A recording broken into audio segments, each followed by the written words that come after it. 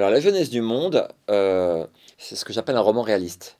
C'est-à-dire, c'est tiré d'une histoire vraie. Les deux fils euh, d'André Malraux, le grand ministre de la Culture qui a inventé le job et non pas Jacques Lang, euh, Vincent et Gauthier, avaient 18 et 20 ans en mai 61 et se sont tués dans un accident de voiture en revenant de, de Porquerolles. Mais en mai 61, il se passe des choses assez terribles en France, puisque l'Algérie est encore française. L'OS veut tuer De Gaulle, c'est les, Pieds Noirs d'Algérie, c'est l'organisation de l'armée secrète, et qu'il cherche à atteindre De Gaulle par Malraux, et donc par ses fils. Et donc moi j'ai mené l'enquête pendant très longtemps, pendant 30 ans, et j'ai voulu savoir comment, comment étaient morts les enfants. Donc j'ai eu droit aux archives et ça nous plonge dans, un, dans une enquête absolument incroyable et comme un volcan, parce qu'en mai 61, non seulement il y a, les, tueurs qui veulent tuer De Gaulle et qui s'approchent de la famille Malraux, mais vous avez aussi de Leningrad Rudolf Nureyev qui vient danser à l'Opéra de Paris qui, qui part pour une tournée mondiale. Donc on est en pleine guerre froide. Donc il y a une espèce de guerre culturelle souterraine entre l'Est et l'Ouest. Et que Rudolf Nureyev a explosé euh, comme jeune danseur à l'Opéra de Paris. Et euh, il y a une femme qui va tomber amoureuse de Rudolf Nureyev, qui est la fiancée de Vincent Malraux. Donc tout le monde se connaît. Et au même moment, des États-Unis, il y a les Kennedy qui viennent à Paris, reçus par le général de Gaulle. Donc c'est un espèce de volcan incroyable où tout le monde se retrouve avec les espions, avec les, les, amoureux, les amoureuses, les artistes, les Américains, les Russes, le KGB, la CIA, l'OS. Enfin voilà. Et donc c'est une histoire passionnante sur 460 euh, pages. Quand j'avais une douzaine d'années, j'étais en vacances à Porquerolles et je rencontre une fille qui a un rôle euh, important dans ce livre qui s'appelle Céleste. Moi, j'ai 12 ans, elle, elle doit avoir 16-17 ans. Elle est très belle. Et elle est un peu bizarre parce qu'elle pique des crises. Et un jour, euh, c'est l'été quoi, et un, jour où je traîne un peu avec elle, elle me dit Bon, Bruno, faut que je te parle. Si je fais des crises, c'est parce que il y a 7-8 ans, donc en 61, j'étais en vacances au mois de mai euh, à Porquerolles avec Vincent et Gauthier Malraux. Et Vincent, c'était mon amoureux. Il était peintre, il m'a dessiné. Euh, j'avais 11-12 ans, il a fait un tableau magnifique qui s'appelle Demoiselle au soleil.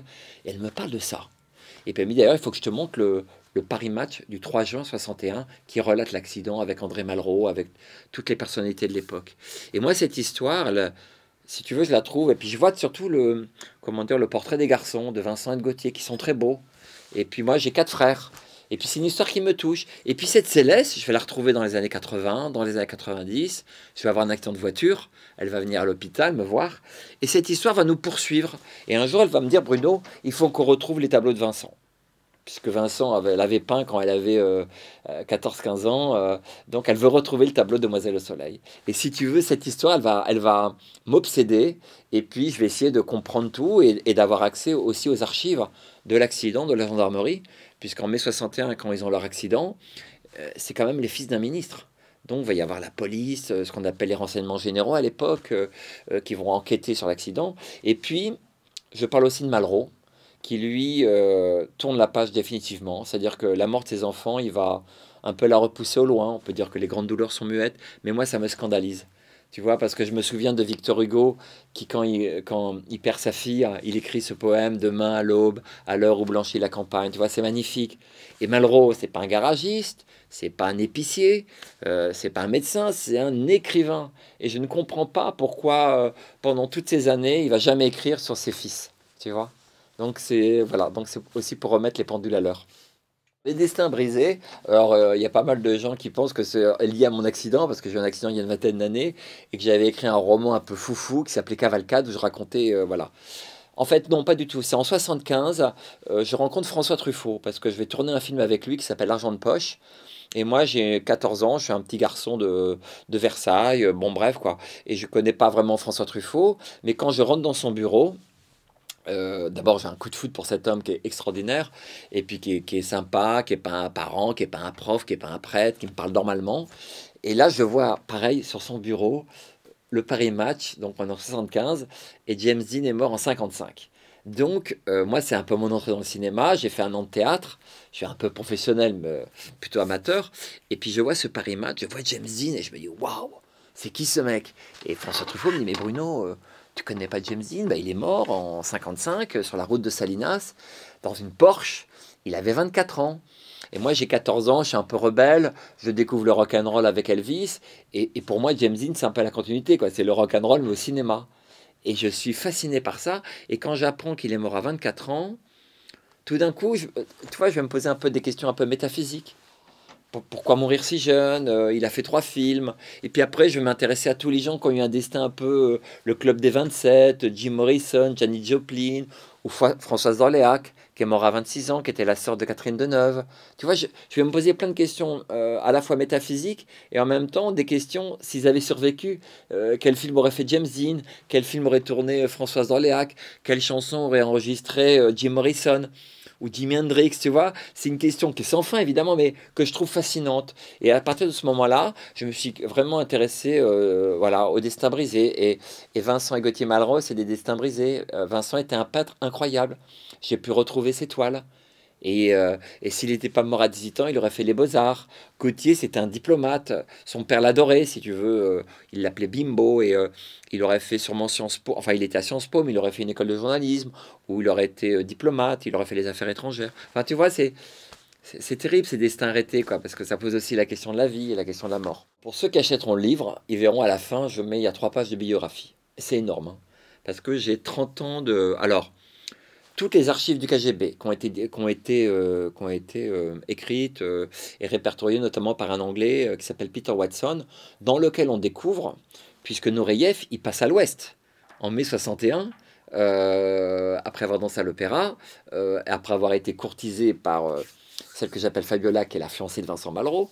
Évidemment, Vincent Malraux n'est pas au courant, mais Rudolf Nureyev, au Bourget, au moment où l'avion va partir euh, en Angleterre pour continuer la tournée, euh, les Russes du KGB lui font non, non, Rudolf, toi tu repars à Moscou, tu vas danser pour Khrouchtchev. Il a tellement déconné euh, à Paris en sortant tous les soirs, en échappant aux sbires du KGB, qu'on veut le punir. Et là, il va faire le saut de la liberté, il va passer à l'ouest.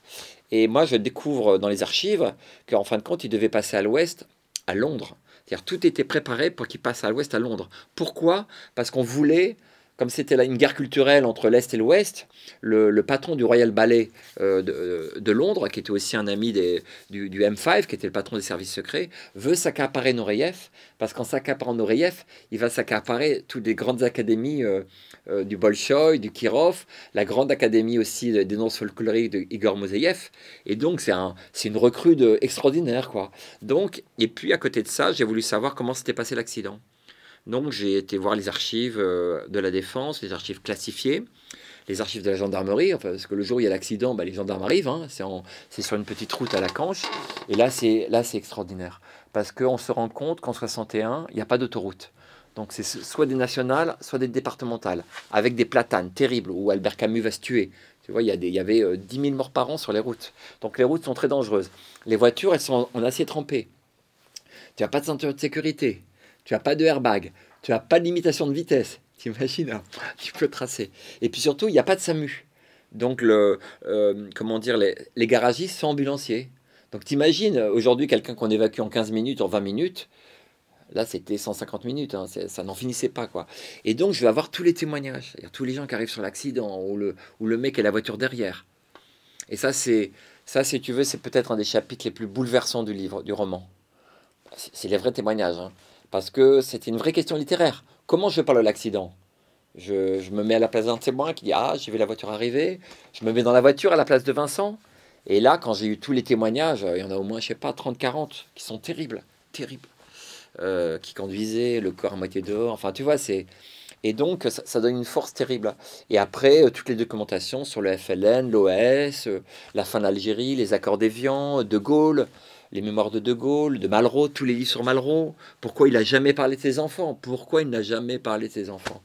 Euh, Le dernier livre sur sa vie, c'est le livre de Sophie, euh, euh, qui était sa dernière copine, qui a écrit un très beau livre. Et, il n'y a pas une seule ligne sur ses enfants. Donc voilà. Mais si tu veux, j'ai fait un travail très sérieux de, documentation. Et puis, et puis, tu sais, on dit souvent le diable se niche dans les détails. Tu vois, tu, tu, tu trouves un bouquin d'archives et puis tout d'un coup, tu as 3-4 lignes, il fait Oh mais c'est quoi ça? Et là, c'est génial parce qu'après, à partir de ce moment-là, tu enquêtes et voilà quoi. Mais c'était passionnant. C'était passionnant et bouleversant. Parce que euh, je me suis senti, euh, tu vois, beaucoup d'atomes crochus, notamment avec Vincent. Parce que Vincent, y a, tu vois, en retrouvant ses amis, ses témoins, euh, les gens qui les avaient connus, qui les avaient aimés. puis Vincent était né un 12 mars, moi je suis né un 14 mars. Enfin, tu vois, c'était. et voilà, puis j'ai commencé à l'écrire il y a moi, généralement, je me mets au travail euh, une fois que j'ai tout.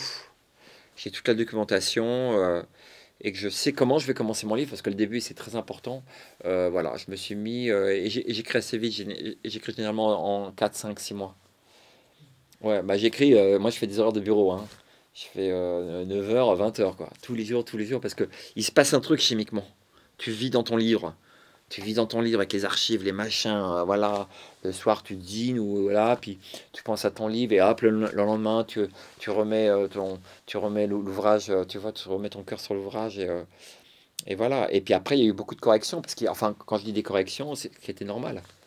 Il y avait le côté juridique, qu'est-ce qu'on a le droit de dire, qu'est-ce qu'on n'a pas le droit de dire, et puis vérifier parce que moi je suis vraiment 61, donc la musique de l'époque, tout ce qui se passe là, comment, comment s'habiller les filles. Moi j'adore la mode, parce qu'en 61, on est vraiment encore dans les années 50. Hein. Les garçons et les filles se voient, la mini-jupe n'existe pas, le collant n'existe pas, les filles sont encorsées, guépières. Euh, c'est quand même très, euh, tu vois. Euh, et puis, et puis l'adolescence, elle, elle, émerge, tu vois, elle va, elle va éclater en 68, mais en 61, les, les, les, les, jeunes, ils en peuvent plus, quoi. Parce que tous les gens qui sont au pouvoir politique, médiatique et, économique sont tous des gens qui ont fait la guerre. Malraux, De Gaulle et tu as cette jeunesse qui explose, quoi.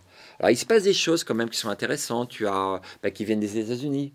Euh, tu as le, rock en 54, tu as François Sagan, Bonjour Tristesse, qui va un peu lancer la jeunesse féminine sur euh, une, certaine forme de, liberté et d'indépendance. Tu as euh, en 56 Et Dieu créa la femme avec Brigitte Bardot. Ah là, tout d'un coup, tu as Brigitte, elle danse la mode, tu vois, tu as, as, des choses merveilleuses, quoi. Mais tu sens que et en 59, tu as les premiers destins brisés. Euh, Buddy Holly, qui a 22 ans, Richie Valence, qui a 16 ans, qui chantait la bamba, et un mec qu'on appelait The Big Bopper, qui est un DJ assez connu. Et ces trois stars du rock, donc on est en 59, meurent dans un avion qui va s'écraser, un, un, Piper Bonanza. Et ça va être terrible, ça va être une onde de terrible parce que le, le, rock est menacé un peu par les adultes qui disent c'est quoi cette musique de, de, de sauvage? Et une journaliste à New York qui va écrire The Day the Music Die, le jour où la musique est morte, puisque c'est toute la jeunesse qui pleure. Et il y a un mec à Los Angeles qui va, qui va reprendre l'article en disant euh, le jour où on a tué la musique. C'est-à-dire qu'on veut tuer nos icônes, on veut tuer nos idoles. Et puis après, les années 60 arrivent avec les Beatles, les Rolling Stones, et hop, c'est lancé. Et en 68, tout explose